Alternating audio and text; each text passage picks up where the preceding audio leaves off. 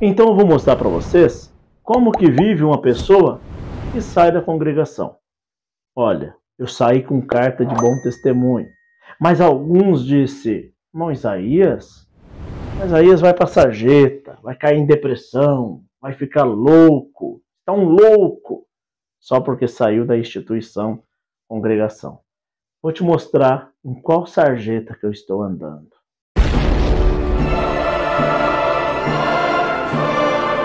A paz de Deus e a do nosso Senhor e Salvador Jesus Cristo. Eu sou o irmão Isaías, da comunidade cristã no Brasil. Perguntaram para mim, irmão Isaías, é verdade que quando sai da igreja qual nós éramos, congregação cristã no Brasil, a pessoa vai para a sarjeta, vai para o lodo? Bom, bem na verdade, eu vou explicar para vocês o que acontece.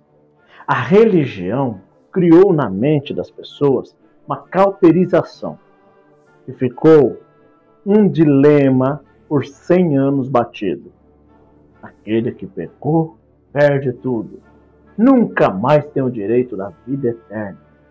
E ele virou mendigo, saco nas costas, andarilho pelas estradas.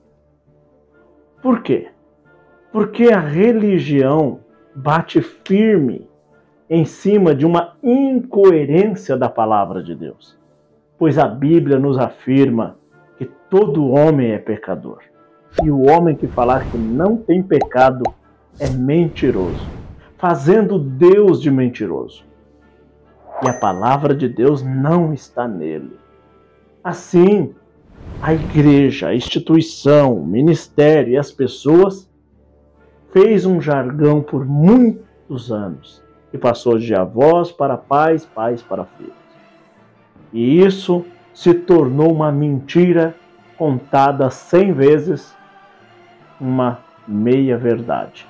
Contou então essa meia verdade mais cem vezes, de geração a geração, e se tornou uma verdade. É uma pura mentira que se tornou uma verdade. Que aqueles que erraram têm que agora ser abraçados pela igreja.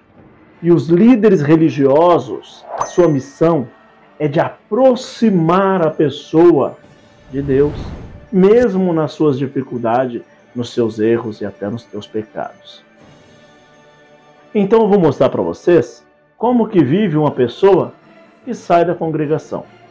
Olha, eu saí com carta de bom testemunho.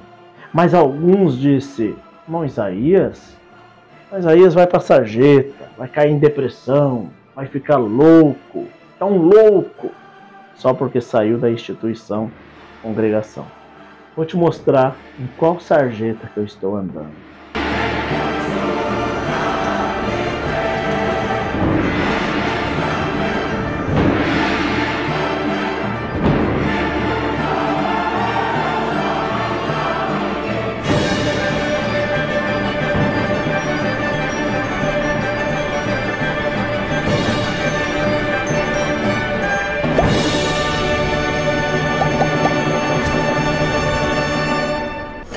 Que isso? Tô vivendo a vida.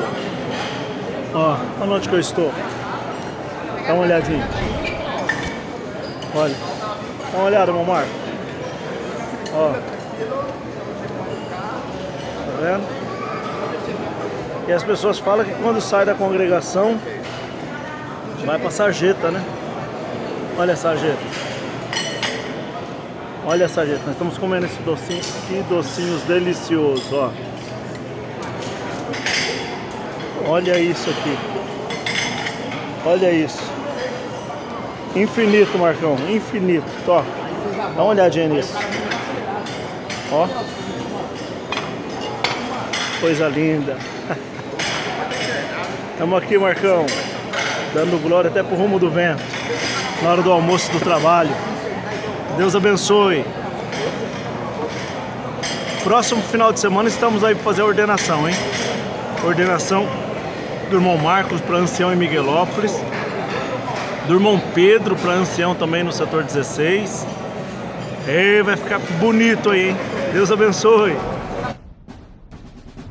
Estou comendo bem, me alimentando bem, passeando, viajando, conhecendo lugares, congregando, visitando.